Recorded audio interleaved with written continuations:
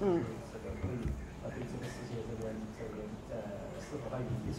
嗯。啊，可能是，呃，可能这个问题可能是比较长。到底还有必要？你现在假如身体不好，你又在修正佛法，那么你的时间精力是有限的，是不是？哎，你时间你要有，有时候我们其实做一件事，有时候觉得自己在哪儿抽抽，我该做还是不该做的时候，是因为时间精力不够了。因为有些东西可以同时做的啊，但是当我们处在一种抉择的时候，是说我应该不应该把时间精力放在这一块儿，还是放在这块儿的时候，是自己的心力啊、时间啊、精力都有限。那这个时候我做了这件，我可能暂时顾及不到那一点了，是吧？但是我觉得现在呢，以你，以你的自己的就是说，身体修正是第一位的，啊，身体的修正也要耗用你大部分时间。当然说，因为因为你修正有利于身体健康嘛，是吧？哎，所以你要修正，哎，要放松，因为你毕竟毕竟在工作里边要消耗你的精力，消耗你要思考啊或者是什么。但是你知道我们的身体包括心理意识跟身体两部分，我们的脏器、心肝脾肺肾是我们的就像个什么那个就像一个硬件儿是吧？但是意识层面开心不开心，并不因为身体健康而能够喜悦，是事业的成功，你明白不？当你在这个世界上做出了一件真的能利益到很多人的事，或者能利益到自己的事，甚至是你做种出个苹果，看到这个果实的时候，你很喜悦，即使你病着。有时候我们的快乐来源于我们我们的所做的一件。刚开始我们是为拥从拥有中获取快乐，随着你的修正，大乘菩萨的修正，他从付出中获取快乐，但这两个都还没有无我，都不是说你付出了你快乐，你还是个自我的。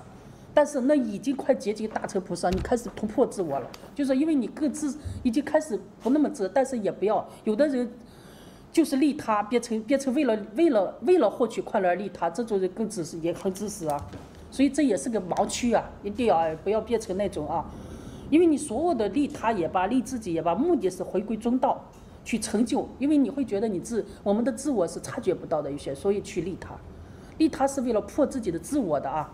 不是需别人真的多需要你啊，一定要。如果你觉得别人需要你，你要实现自我价值而利他，觉得别人很需要你，这个这个是错的啊。这个这个你你陷入了另一个怪圈儿，你陷入了另一个盲区。对你这这边的话，我觉得这是做这些能源，可能你这内心里深处呢有一个心愿，想想做下来或者能够帮助别人或者利他。问题是这件事，也许有其他人也在做，是吧？也有也许有些人人家的。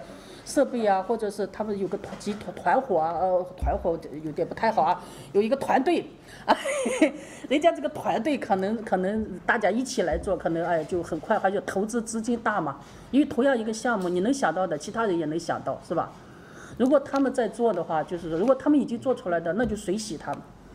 你知道，因为你在努力，别人也在努力。当别人比你更快的把这个东西做出来的时候，一定要心里随喜，不要说，哎呀。我做出来好了，你看他做出来，他想到的我也想到了，不要这样子去像人力这样喋喋不休的乱这样子想问题，人家做出来就算比你前一秒随喜，这也是修行啊。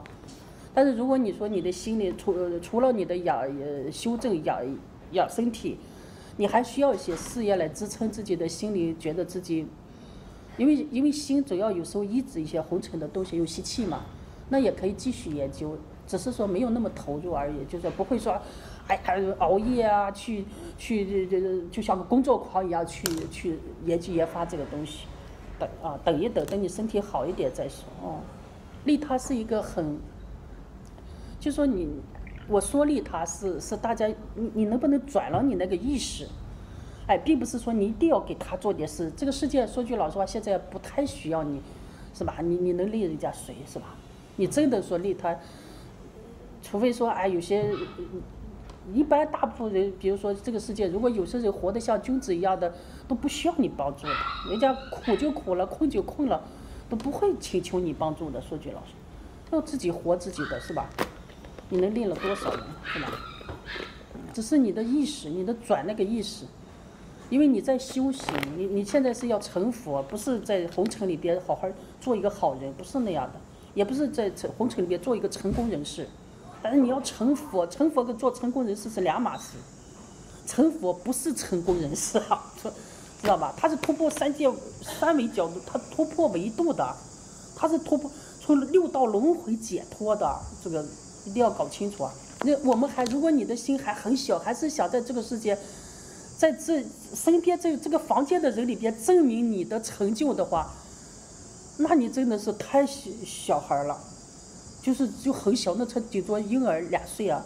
如果我们想在全世界人力的七十亿人口里边证明你还你的成就感的话，那你标准的一个物种，标准的人力物种，你连毛毛虫都不认识你，说句老实话，六道众生不闻其名啊，不知道你是谁，你只在人力，人力就算你在人力，全世界都知道你是谁，六道众生听到你名字知道你吗？恶鬼道知道吗？地狱道知道，诸佛菩萨无处不在啊！你你问问释迦牟尼佛，他们知道。知道了，你有啥成就呢？我们在人道，就算很很多，现在人力很多，你就算很有名又怎么样？现在你在成佛啊，可可可以搞，一定要慢慢的搞清楚你在做啥，你是在成佛啊。所以人道的很多东西都在突破，你不要听为人道说，哎，你应该这样，那只不过是叫你做个人而已，是吧？你现在是要突破人道的之界，知道吧？所以你没有什么，有些东西根本就不是。就说不是人力的人力的认知能够那样子指导的，知道吧？所以我这样子不能这样子说话嘛，就是这样子说，很多老师很多人说，你你是不是还不让大家做人了呢？你这是吧？修行连人也不做了嘛？所以很多师傅说人成仙佛成嘛，你连人都不是，人连人都不是，这种话是说你人成这佛成，是说你每天流露出的那些习气就是个下三道，是说你你先把那些习气收敛收敛，然后。正身正义正言坐在这，先做个人，做个善男人善女人，然后再听闻佛法，在这个基础上去成道。就说你连地基都不，你连最基本的都没做到，然后你在这一盆烂又烂又坏的这垃圾桶里，你想你想开出一个圣洁的莲花吗？就是这样子。所以这就像五祖五祖说六祖让他去是去厨房倒去倒米，你倒尽了，你洗净了没有？你那个六根，洗净了我可要传法的哦。六祖说可以了，五祖人家，六祖说可以了，五祖说那你晚上过我房间来。五祖也六祖也没说你印证一下吧，没有啊，直接就可以了，因为洗净是知道的，道吧？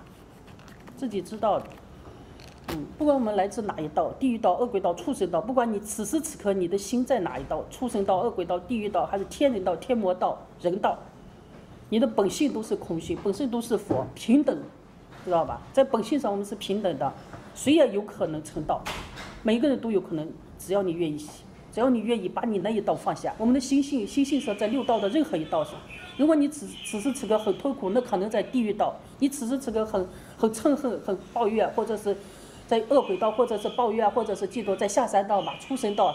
哎，你你如果你听不懂，在愚愚昧或者在畜生道等等啊，各种习气习气欲望太重，在畜生道，就心啊，或者我觉得我哎我还蛮善良的，那你在人道了，是吧？天人道啊，这个不管哪一道，你的心、你的习气会实现六道的相，但是这些相都是虚妄的，你的空空性都在这里。你只要愿意在那那一个，你你如果现在很苦，就在苦里边见空性啊，就在苦里边去觉照它、旁观它。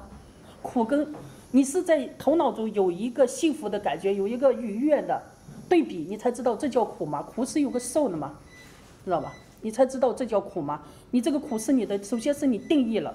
这个觉受就叫苦，这叫痛苦，知道吧？你这头脑，你这个手机的，这叫病，这叫苦，这叫痛苦，这叫疼。你努力的想把这个你定义的，先把这些信息输到了头脑里。你你就像个电脑，你先输输了这种信息，我是有病的，我首先有个我嘛，我是谁谁谁，我是有病的，我是痛苦的，我今天很苦，我身体不舒服，我需要吃药等等这些输进去。然后又输了个说我要变成这个变成那个变成那个，这两个都在你的电脑里，这两个都在，所以你永远变不过来。这就像你输了，你是个凡夫；再输了，你要成佛。所以凡夫跟佛一直都存在你的二元对立的这个电脑里。你这个电脑就是既是凡夫又是佛。佛说你只能输一个信息，你是如来，你本性是如来，其他都是幻象，只能输这个，这叫指令，知道吧？你不能输你是六道的任何一道。你也不能认，所以这叫第一点。所以这个电脑里边，你的清除你的内存啊，清就是你那个指令你的下对啊，是吧？但是如果你说我是如来，但是呢，我六道六道的生生世世轮回都不是，那做事的时候也要不是啊，心无挂呀，生死无挂，就是那种要达到这种境界。然后你自然的转，你只要每天坚持修，你真的是不会生死。你越输错了，你越较真，越越不行。这就是以中道你在调病啊，治疗啊。你不要在那儿折腾，说是哎呀，我把它观想成这样，观想成那样。你的心力本身在病的人病的时候，心力就弱，知道吧？本身病的时候，心力心力就他就是弱。那个时候身心，如果你绝正了，那是你身心呃这个觉受已经不影响你成佛，那就另当别论。但是你不是登地菩萨，你没成佛以前，当你有病的时候，你你就无力自拔了。所以医不治治就这个道理。医生治不了自己，因为他病的时候他最弱，他就他就治不了自己的问问题了，是吧？如果不动安住在中道上，自己会调身体的机能，自己会调整。你学了第一点就第一点做四大皆空。地水火风，地水火风四大劫。如果真的是有些东西不动，那就不动的。你心里一定有有结也没动，你有些东西没动，没没正的，嗯，就在那卡着。不管就算到最后，慈悲心都是一个慈悲心都是个结。心，你你认为有个慈悲心在那儿，你都是结的。但是刚开始修行要这样说嘛，因为大家刚开始哎要要有这种名相啊。到最后，所有的文字，所有的都要破。你说有一个利他，你都有众生相了；你有个慈悲心，你都有有相，都是相啊，有佛像啊，菩萨像啊，是吧？你心中有一个释迦牟尼、观世音菩萨、文殊菩萨，都是佛像，知道吧？菩萨像啊，佛像啊。但是你还是，我们还是一个凡夫众生的时候，这些像是要有的。如果你一开始起修就把佛像全砸了。说这是无形无相的，佛不需要像，把寺院全拆了，把佛像全砸了，你肯定造了罪业，肯定造业。你要医治啊，先开始医治这些外界的环境啊，这这都是你的医治啊，医治这些，让自己逐渐的确立起来佛的正知见。当你确立起来，逐渐修正，然后一层一层把自我破掉的时候，再破众生相啊、法法相啊这些，开始慢慢慢慢消融，那个时候你就可以了。我说这，我说这些不是说大家说一开始就是还一定要发个利他这些，知道吧？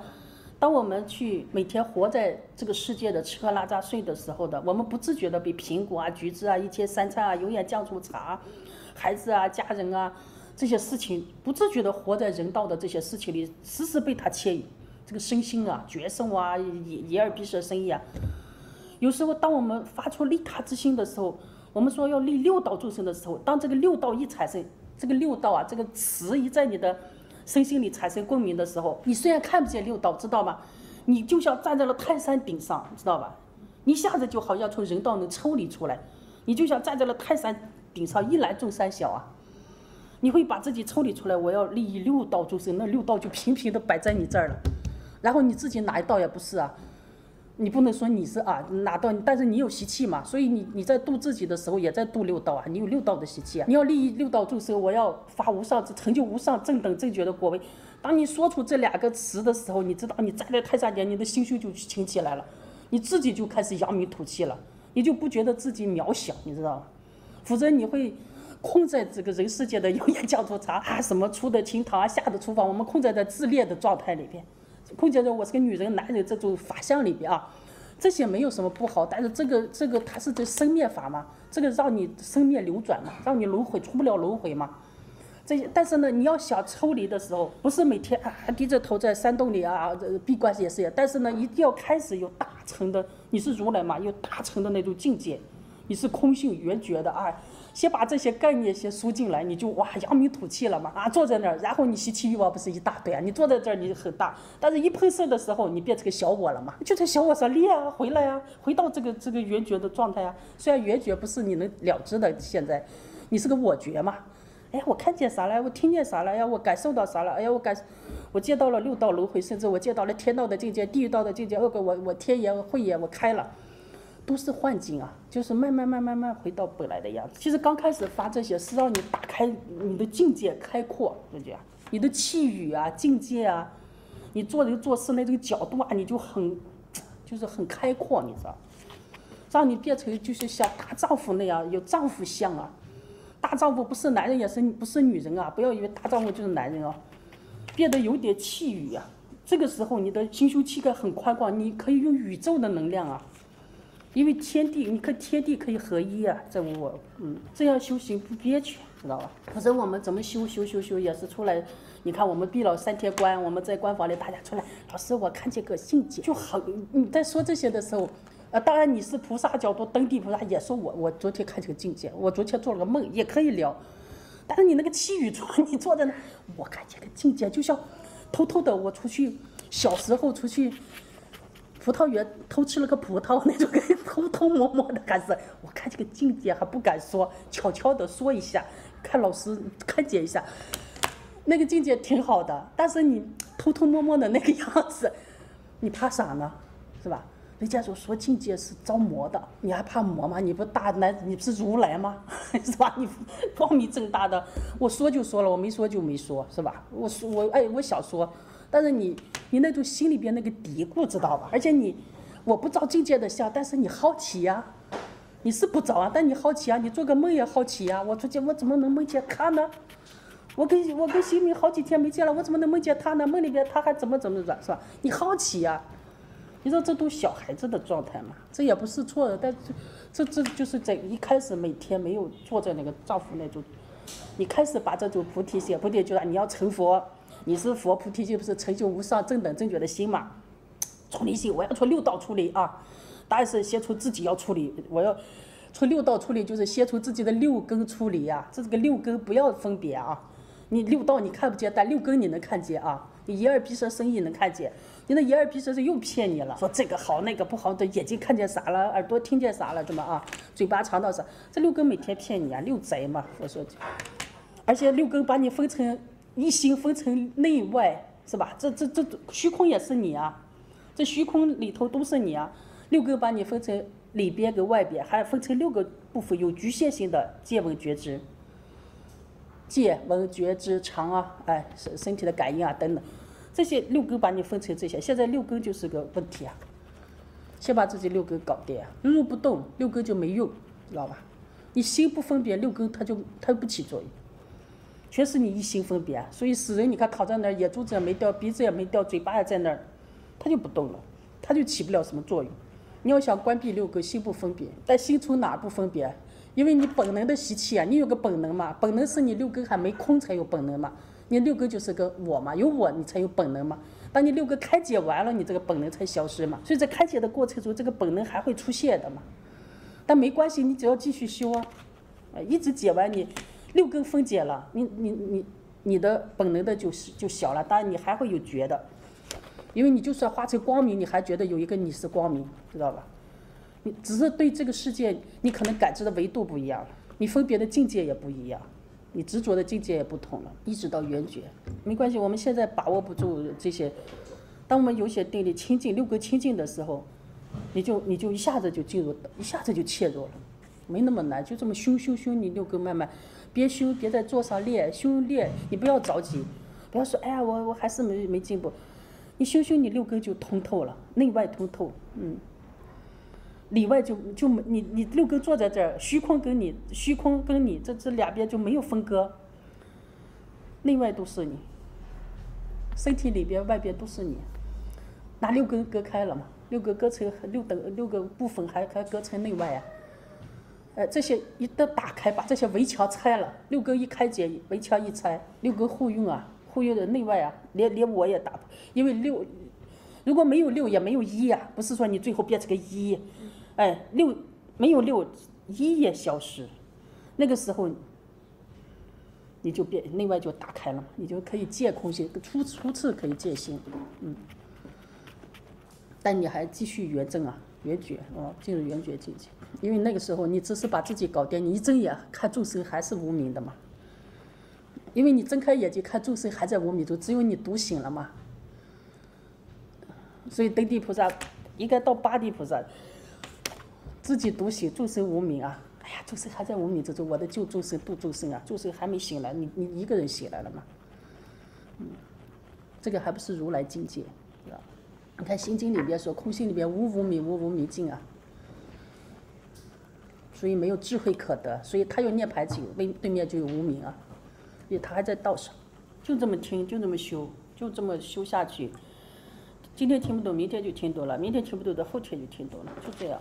六根逐渐清净，然后就那样就开始越来越就进步就成道，就那样，没关系，修行就这样。